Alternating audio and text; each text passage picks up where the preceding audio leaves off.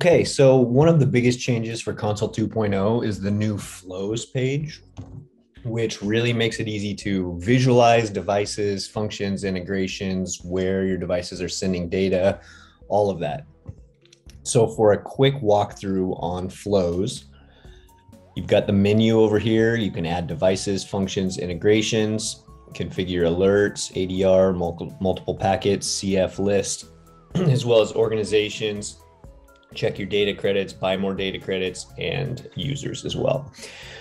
Also, you have a couple different menus over here. One is just the this plus button that shows up on every page. Very quick shortcut to add device label function or integration, as well as a nice little get started with console. Um, same kind of thing here, just another way to add those or manage those devices, integrations, functions, invite other users, those types of things.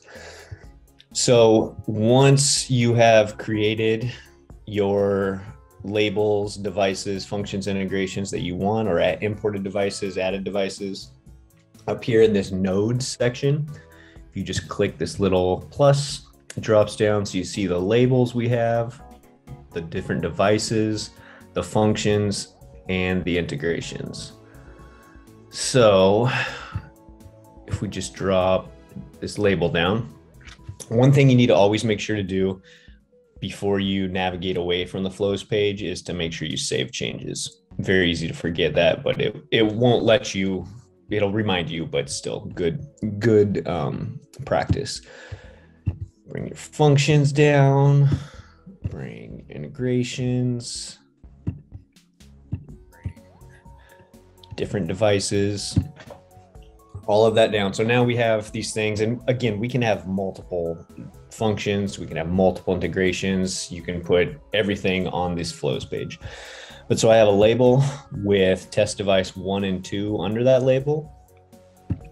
I have test device three here. I have one decoder and I have one integration. So if I want my test devices to, again, be sending data through this function, this decoder, I just hover over the little circle here, make sure the cursor turns into a plus, draw the line to the circle on the decoder.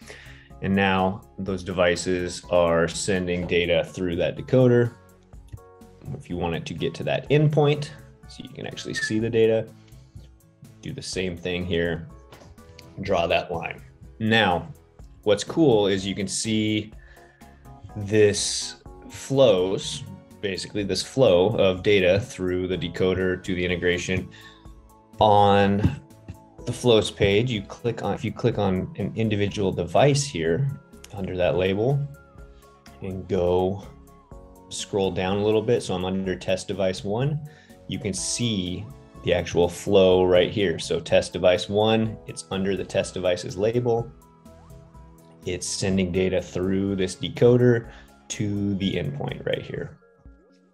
You're also able to, this is a dummy device, so it's not actually sending data, but you're also able to look and see, um, you know, packets being sent, data being sent, as well as uplinks, downlinks, all that stuff here. And this will, again, this will show up when you have devices that are actually sending data. So if we go back to flows and I have this test device down here, we can, multiple things can be sending data through the same decoder. So like this test device isn't under this label, it can also be sending data through that decoder. If you are um, if you have an integration, if you have an endpoint that decodes the data at the endpoint, you don't need that decoder. You can draw the line just from straight from the device to that integration to that endpoint and bypass the decoder. There you go. So very simple to do that.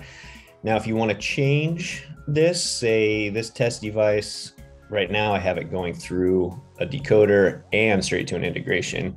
Um, if this integration, if this endpoint is decoding the data at that endpoint, there's no need for this decoder. So if we just click on this line here, which is called an edge, selected edge, remove it, and boom. So now that test device is just sending straight through there. So a lot of different ways to visualize. You can move stuff around, move it, play around with it however you want.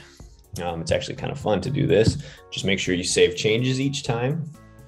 And if you want to take something off, say I'm I'm done. This device isn't working for me anymore. You just click on that device. You can remove the node. Boom, it's gone. All right, if I want that device back, again, go up to nodes, devices. That was test device three. Drag it back down. And there we are.